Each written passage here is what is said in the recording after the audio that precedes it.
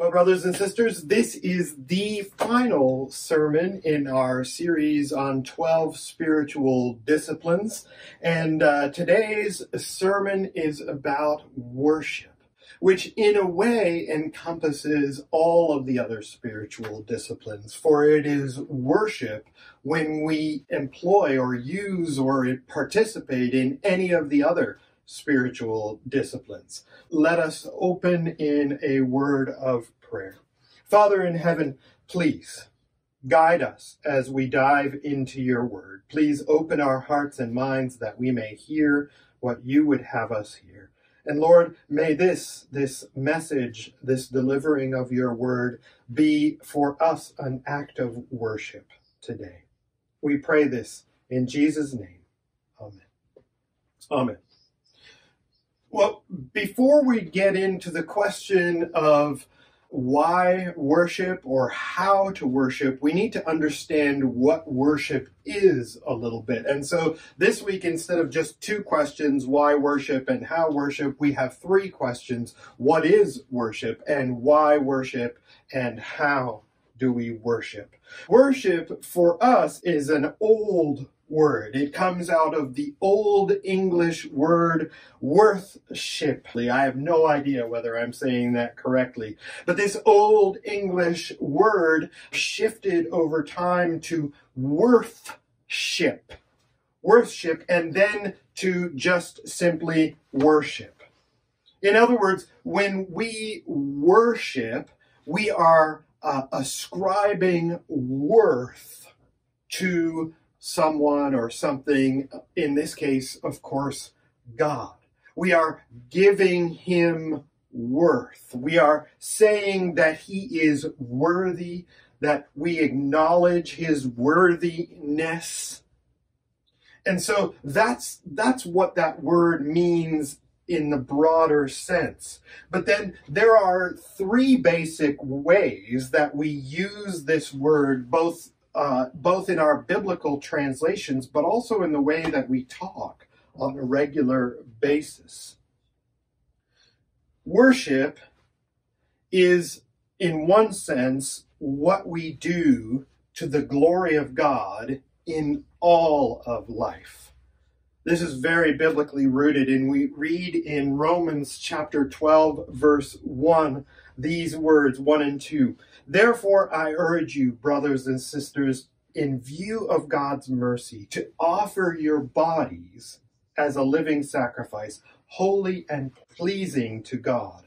This is your true and proper worship. Do not conform to the pattern of this world, but be transformed by the renewing of your mind. Then you will be able to test and approve what God's will is, his good, pleasing, and perfect will.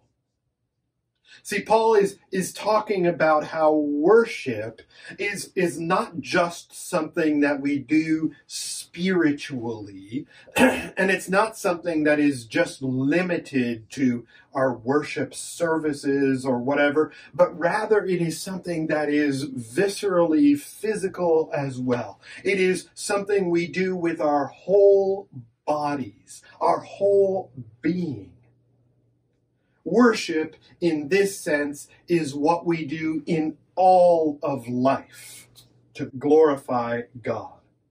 But we also use the word worship in a different way. We use the word worship as in the worship services that we participate in.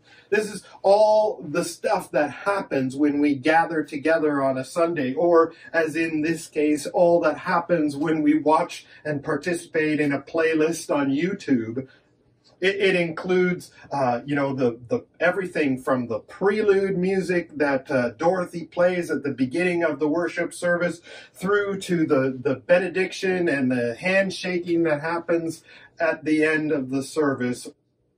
That is a worship service. And so we talk about worship in that way. But then there is a third meaning that is very, uh, very, very specific. It is the specific act of adoration or praise. And mostly when we're using worship in this sense, we're talking about uh, music often, right? We sing worship songs. We're going to have our worship time during the worship service, right? Um, we often refer to music there.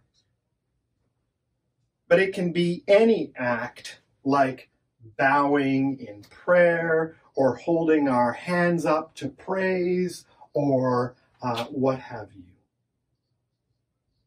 So, given those three definitions of worship worship uh, in all of life, and worship services, and worship as specific acts like the songs we sing why worship? Why are we called to worship? Well, 1 Corinthians 10 verse 31, where Paul writes to the people of Corinth, says, So, whether you eat or drink or whatever you do, do it all to the glory of God. Paul makes it very clear there that we are to worship God, give him glory, ascribe to him the worth that he deserves in everything we do. Not just singing praises, not just, you know, doing, um, doing the prayers or the blessings or whatever, but everything, eating and drinking included.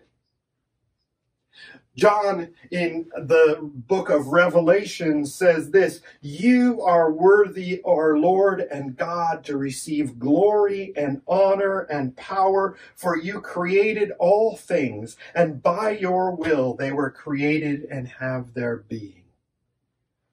See, this is why Paul can say that we need to worship in all areas of our life because God is worthy. God created all things. And not only did God create them, but listen, they were created and have their being. God is sustaining them even now. So even as we worship together in far flung parts of, of Athens or the surrounding area or the world, it doesn't matter. We are doing so and we are only capable of doing so because we were created by God and because he is currently sustaining us even so. So, of course, that raises the question how do we worship? How do we worship? We worship, uh, we're going to talk about that in reverse order. We're going to talk about this in terms of how we worship uh, in those specific acts. We worship in praising and adoring and singing to God. And, and, this is true regardless of circumstances. You'll notice as you go through the Psalms, as you read through the Psalms, that often David or other psalmists are facing terrible uh, struggles in their lives and they're pleading to God for his help, but yet they still, they still praise God even in the midst of their trouble. There are seven Hebrew words for praise, or that we translate often in our scriptures as worship or praise.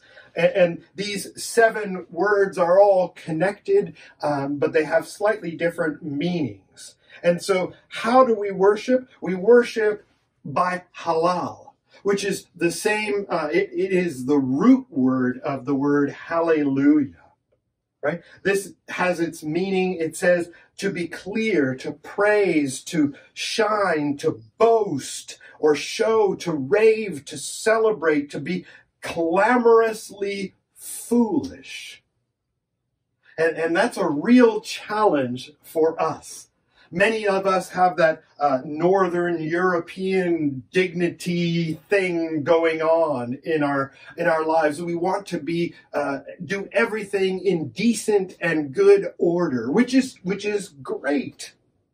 But there is something exuberant and outwardly foolish to a lot of people about how we are called to worship. Think, think about, think about the young man who falls in love and who, who can't stop talking about it, this girl that he loves, this person that he loves. He waxes on and talks about this person so much so that his friends want to want to shut him up permanently. They want to stuff a sock in his mouth to get him to stop talking about it. To be clamorously foolish, some might say. This is how we are called to worship God, to be halal, to worship God in this way. Another word we have is yada, which is the extended hand or to throw out the hand, therefore to worship with extended hands, to lift the hands. And I know again, this is another struggle that we have sometimes in our church, in our staid and, and proper, dignified sort of way of doing it. And you don't have to do this. However, it is biblically very, very valid to raise one's hands in praise, to say, God, thank you. You are so good, and I worship you. Towdah, which is an extension of the hand in adoration, avowal, or acceptance. Thank you, God. We do this, we see this sometimes when people receive God's blessing or when they are praying, they offer up themselves to God, right? We, we offer, we give our hands in adoration, acceptance, or avowal. Shabach, which is to shout, to address in a loud tone, to command, to triumph right? It is that, that, that triumphant cry that says, yes, thank you, God. Thank you. Right? Barak, to kneel down, to bless God as an act of adoration, or to salute. We see this in, in, churches where they have kneeling benches built into the pews, that there are periods during the service where everyone will kneel down to pray. And again, we don't practice that all that much in our formal worship settings, but maybe you do at home. But again, it is a biblically sound and valid way to worship God. Zamar, to pluck the strings of an instrument, to sing, to praise. Of course, we sing and praise to God all the time in our worship services, but maybe there's opportunity for you to do that at home. Maybe there's opportunity for you to do that. I know there's opportunity for you to do that today during this worship service online. But there's also opportunity throughout the week to sing to God, to praise Him in that way. And the, the seventh word, the Hebrew word for worship, is tehillah, or the, the singing of halals, to sing or to laud, that is to praise or glorify, right? There's, there are all these words of praise and worship written into the scriptures and they are all ways in which we can worship our God, in which it is totally appropriate and good to worship Him. We worship also, of course, in our worship services. Not only do we have those seven words of, of specific praises and worship that we can do uh, during our worship service or throughout the week or whenever, but we also do our worship services, the whole thing, not just the singing part of it, the whole worship service is an act of worship. We worship, first of all, together. The Bible is very clear about that, that we are not to neglect the gathering together. Now, that gathering together we happen to be doing virtually these days, but we're still not neglecting it because it is so important. It is important for us to gather together to strengthen one another in our praise and worship of God, to encourage one another, to give one another wisdom from the scriptures and encouragement from our experiences, and to pray for one another, to uphold one another throughout the week. But when we gather together, whether it is virtually or physically, we are worshiping when we pray, we're worshiping when we sing, we're worshiping when we confess, we're worshiping when we receive the assurance, we're worshiping when we listen to scripture, when we participate in litanies, when we receive the blessing, when we receive God's greeting, when we greet one another, when we give our tithes and offerings, when we participate participate in baptisms or when we participate in the communion, when we hear the word preached, all of these things and more are worship. It is what we do together. Even if we are grieving together, if we are mourning, if we are struggling, that too is part of worship. And we worship last of all in that broadest sense. We worship in everything we do. We worship when we are making our breakfast. We worship when we wake up in the morning. We worship when we are going out into the field or going out into work or going out and doing whatever it is that we're doing. We're worshiping when we stay at home and do nothing as we've been told to do so many times these days. We worship in so many ways. Now, this is where the discipline part comes in and the discipline part comes in for the whole thing, right? None of these things are proper forms of worship if we are not conscientiously choosing to worship and praise God. All of these things can be empty, or they can be worshiping something else, or they can be worshiping ourselves when we sing our songs, are we thinking to ourselves, boy, I sound pretty good today? Or, oh, I wonder what that other person is thinking about the way that I'm singing? Or, or I feel so awkward singing in front of a TV? Or are we actually offering up our worship songs to God? In the specific acts of worship when we are praying, are we trying to show off like the Pharisee in the temple who was standing there praising God supposedly and saying, Thank you that I'm not like other people? Are we showing off when we worship? Or, or, or are we are we worshiping something else? Are we worshiping ourselves, our status? Are we worshiping our reputation? And, and that goes not only, of course, for how we are. Um, how we are worshiping or not worshiping in those specific acts of worship during a worship service, but the whole time too. We we hear this sometimes that that people will say of, of this church or that church or the other church, they'll say, well, I'm not getting anything out of it. But really, that misses the entire point of the worship service. It is not about what we get out of it, but rather it is about the glory we give to God in the service. It is about the love that we give to Him in gratitude for what He has given to us.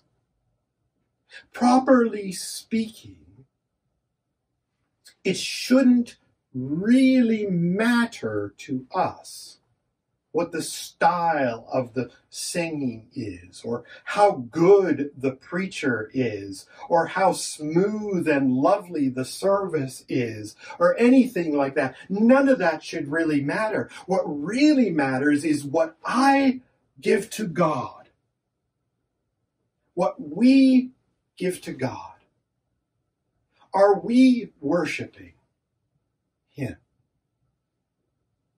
If that is our focus, then the style of the worship, how smooth it is, how professional people are, how uh, talented the, the praise team leaders are, and all of those things, they slip away as being not ultimately important. Instead, my offering to God is what is important in response to His love for me. And that, of course, is true not only of the specific acts of worship and the worship service itself, but it is also true in life in general. It's a discipline. We, we sometimes have to force ourselves to say, I am going to worship God, even though I really don't want to do this. Even though I really don't enjoy this, even though my circumstances are so bad. I don't know about you, but but Tuesday morning is or no Thursday morning, excuse me, is garbage and recycling here in the village of Athens. And I really do not like gathering and putting out the garbage. I don't know why, it just drives me nuts. But that is my choice, ultimately. I, I mean, it may make me feel yucky to put out the garbage. I don't I don't know if that's inevitable or not. But I can choose to do the garbage as an act of worship, or I can choose to grumble and complain about it in my mind, and maybe out loud, the whole time. It is a discipline, a choice that I make. And it may be a choice that I need to make many times. Even if the garbage only takes me five minutes, I may have to choose every 30 seconds to make it an act of worship instead of something that I despise doing. It's the same with anything else in life. Dealing with an annoying boss, having to pay bills, changing diapers, changing a tire, fixing farm equipment, or, you know, whatever it is you do. There is the opportunity to discipline yourself, ourselves, to worship God in that thing. But it is not worship if we do not make it worship if we go around claiming that everything we do is worship, but we're never actually choosing to worship God in those things, then then we're just lying. Then we're just making making a fool of God if that were possible. For of course, he knows what is in our brothers and sisters, this is the spiritual discipline of worship. And it is so well summed up in that passage, passage from Corinthians. Whether you eat or drink or whatever you do, do it all for the glory of God. Let us do that this week and beyond. Let us pray. Father in heaven, help us to see that all that we do is properly supposed to be an act of worship. And help us to more and more choose to worship you in those things that we do. God, Lord, help us not to, you know, beat ourselves up or, or feel terribly guilty if we forget or if we fall off that bandwagon but instead help us to get up again and worship you again through the power of your Spirit. Thank you, O God, that your mercies are new every morning. That it's not as if we have failed today and therefore are shut out of your kingdom forever, but rather that you offer us grace anew through your Son, Jesus Christ. That you are even now working in our hearts and minds to make us new, to renew us in our minds. Father, you are worthy. Jesus, you are worthy, our Lord and our God, to receive glory and honor and power. For you created all things, and by your will they were created and have their being. May we worship you in spirit and in truth, in all that we say and do. In Jesus' name we pray. Amen.